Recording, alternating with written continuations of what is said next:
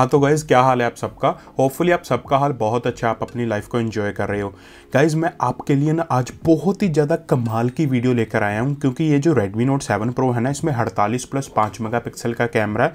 But इसके जो camera UI में इतने ज़्यादा फीचर्स हैं कि आप बिना किसी सॉफ्टवेयर को यूज़ किए ऐसे फ़ोटोग्राफ आराम से बना सकते हो। इसके जो स्लो मोशन इसके जो टाइम लैप्स सभी आपको कैसे यूज़ करने हैं, वो कैसे हैं, सभी के सभी का मैं आपको सैंपल दूँगा। सो प्लीज़ आप इस वीडियो को ध्यान से देखिएगा। तो दोस्तों, जैसे ही आप कैमरा को ओपन करेंगे, आपको ना बिल्कुल ही सिंपल सा इंटरफेस देखने को मिलेगा। फ्लैश है एच है ए है। अभी अगर मैं आपको दिखाऊँ ना तो एआई से क्या होता है, ये जो हमारा एक सब्जेक्ट है, इसकी अगर मैं एक ए मोड में फ़ोटो लूँ, ये बिना एआई के है और एआई मोड के साथ फ़ोटो लूँ तो आपको अपनी स्क्रीन पर सैंपल दिख जाएँगे। बट जैसे ही आप देखोगे ना मैं इस पर फोकस करूँगा तो अभी यहाँ पर ये शो कराई कि ये फ्लावर है तो इसमें आर्टिफिशियल इंटेलिजेंस है। यहाँ पर है इसके कुछ फीचर बट इसका जो असली मज़ा है, वो यहाँ पर है। यहाँ पर अब जब आप सेटिंग्स में क्लिक करते हो ना, यहाँ पर आपको टाइमर का ऑप्शन मिलता है टिल्ट शिफ्ट का ऑप्शन मिलता है स्ट्रेटन यानी कि अगर आपने बिल्कुल सीधी फोटोग्राफ लेनी है। ग्रुप सेल्फी का मिलता है गूगल लेंस इस कैमरा के इन बिल्टी है अभी 48 मेगापिक्सल का अगर आपको शॉट लेना है तो आप यहीं से ले सकते हो। आपको प्रो मोड में जाने की नीड नहीं है। उसके बाद दोस्तों, जब आप पोर्ट्रेट मोड में आ जाते हो ना, इसके आपको क्या करना है? बस अपने सब्जेक्ट पर ऐसे फोकस करना है। बट इसका जो जादू है ना, वो इसके कैमरा यूआई में मिल जाएगा। दोस्तों सपोज़ करो ये जो आपने पोर्ट्रेट मोड का सैंपल है, वो आपने ये वाला लिया है, ये मैंने Redmi Note 7 Pro से ही लिया है। यहाँ पर ना आपको एक आइकन देखने को मिल जाएगा। जब आप इसे प्रेस करोगे, सबसे पहले अगर आप देख सकते हो तो आप ब्लर को इंक्रीज़ या फिर डिक्रीज़ कर सकते हो, जो कि मेरे ओपिनियन से बहुत ही कमाल की बात है। उसके बाद आप इसके ना लाइट ट्रेल्स चेंज कर सकते हो, जैसे कि आपको डिफरेंट तरीके का अगर बैकग्राउंड चाहिए तो आप यहाँ पर देख सकते हो कि हर एक मोड के साथ आपको वो चेंज होता हुआ मिल रहा है। एंड यहाँ पर सबसे ज़्यादा आपको जो जो पसंद है वो ले सकते हो। बट स्टूडियो लाइटिंग में आकर ना आप अपने बैकग्राउंड को काला भी कर सकते हो। जैसा कि आपको मैं अभी करके दिखाऊँगा एंड इसकी एज डिटेक्शन काफ़ी अच्छी है। उसके बाद अगर आप देखो ना तो यहाँ पर जो लास्ट में मोड है, वो आपको सीधा ही सीधा आपको होली मोड में ले जाता है। तो आज वैसे होली भी है। आप देख सकते हो कि काफ़ी सारे ऑप्शन है, वैसे आप इन्हें एडजस्ट भी कर सकते हो बट ये जो होली वाला आप देख सकते हो, कितना रियलिस्टिक लगता है एंड ये कितना ज़्यादा अच्छा लग रहा है मेरे ओपिनियन से। तो ये एक बहुत ही कमाल का मोड है, जिसके बारे में आपको पता होना चाहिए। तो आप पोर्ट्रेट मोड से इसके काफ़ी कुछ कर सकते हो।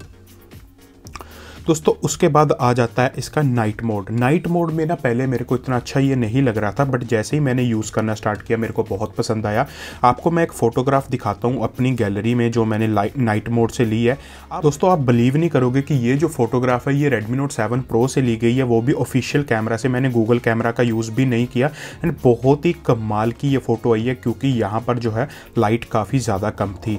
उसके बाद दोस्तों, ये जो स्केयर है, ये जो पैनर है, ये तो नॉर्मल से फीचर है बट जैसे ही आप इसके प्रो मोड में आओगे, आप वाइट बैलेंस इसकी फोकसिंग को, इसके जो शटर स्पीड है, उसे एडजस्ट कर सकते हो। शटर स्पीड को आप 32 सेकंड तक लेके जा सकते हो और आप इसकी आईएसओ को भी 3200 तक लेके जा सकते हो। और वैसे आपको पता ही है कि 48 मेगापिक्सल वाला कैमरा वाला ऑप्शन आपको यहाँ पे मिल जाता है। यहाँ पर दोस्तों चीज़ें ख़त्म नहीं होती हैं। यहाँ पर जब आप वीडियो मोड में आते हो ना तो ये वीडियो है। इसमें आपको अगर सेटिंग्स में जाओगे ना, आपको यहाँ पर टाइम लैप्स और स्लो मोशन का ऑप्शन मिलता है। स्लो मोशन का सैंपल मैं आपको अभी थोड़ी देर में दिखाऊँगा। उसके बाद अगर आप देखो ना तो आपको यहाँ पर इमेज स्टेबलाइजेशन का ऑप्शन भी मिल जाता है। आप जो है फुल एच में सिक्सटी एफ़ और फोर तक जा सकते हो।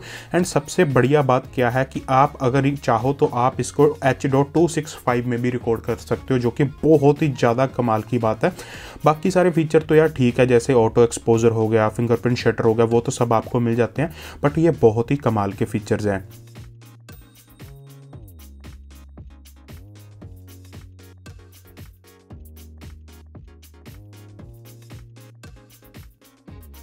जैसे ही हम फ्रंट कैमरा में मूव करते हैं तो फ्रंट कैमरा में आपको इतने सारे फीचर तो नहीं मिलते बट जैसे ही आप फोकस फ्रंट कैमरा में आओगे, आपको flash H D R A I वाले फीचर्स तो मिलेंगे बट जो यहाँ का पोर्ट्रेट मोड है, उसकी क्वालिटी काफ़ी अच्छी आपको इसके सैम्पल्स हमारे कैमरा रिव्यू में मिलेंगे बट जो आपको ब्यूटी मिलती है, आप यहाँ से अप्लाई कर सकते हो। मैं वैसे आपको एक पाँच लेवल की और बिना ब्यूटी की इमेज दिखा देता हूँ।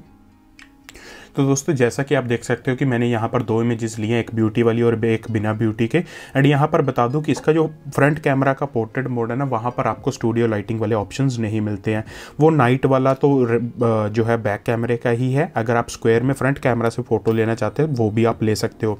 दोस्तों, मेरे को ना इस कैमरा के इंटरफेस में सबसे पावरफुल लगता है इसका जो है पोर्ट्रेट मोड अगर मैं आपको दिखाऊँ तो यहाँ पर ना मेरे पास रेडमी नोट सेवन भी है। एंड अगर आप इस स्मार्टफ़ोन पे इसके पोर्ट्रेट मोड वाला देखो ना तो जैसे आपको मैं दिखाऊँ तो ये मैंने इसके पोर्ट्रेट मोड से ली थी। अगर आप देखो ना, यहाँ पर बैकग्राउंड को इसने ब्लर किया है बट इस डिवाइस में आपको पोर्ट्रेट लाइटिंग वाला कोई भी फीचर नहीं मिलता। ये नॉर्मल फोटोग्राफ थी और ये थी पोर्ट्रेट मोड वाली। यहाँ पर आपको वो फीचर देखने को नहीं मिलते बट यहाँ पर तारीफ़ करनी होगी शाओमी इंडिया की, जो उन्होंने पोर्ट्रेट मोड वाला यहाँ पर हमें फीचर दिया। बहुत ही ज़्यादा कमाल का है मेरे ओपिनियन से। अगर मैं फिर से आपको जाके दिखाऊँ ना तो यहाँ पर आप देख सकते हो कि क्या से आप क्या बना सकते हो, ये वाले शॉर्ट्स आप देख सकते हो कि मैंने लिए हैं इस स्मार्टफ़ोन से एंड कितने बढ़िया ये क्वालिटी का ये शॉर्ट्स आए हैं। मेरे को बहुत ज़्यादा पसंद आया है इसका पोर्ट्रेट मोड स्पेशली ये होली वाला। एंड अगर आपको एक और चीज़ दिखाऊँ ना, इसके पोर्ट्रेट मोड में जो कि बहुत इंपॉर्टेंट है, जैसे ही आप फ़ोटो क्लिक करोगे ना, आपको यहाँ पर ऑप्शन मिलेगा। आप यहीं से सारा कुछ चेक कर सकते हो। ये देख सकते हो कि normally place your subject in the spotlight जैसे ही आपने प्लेस किया। नॉर्मली ये ह्यूमंस पर काम करता है बट अगर आपका कोई ऑब्जेक्ट है, उस पर काम करेगा या नहीं करेगा, ये देखो, यहाँ पर मेरे ओपिनियन से काम नहीं करेगा स्टेज लाइटिंग में। एंड ह्यूमन सब्जेक्ट पर ये सबसे बढ़िया काम करता है, यहाँ पर मैं आपको दिखा देता हूँ।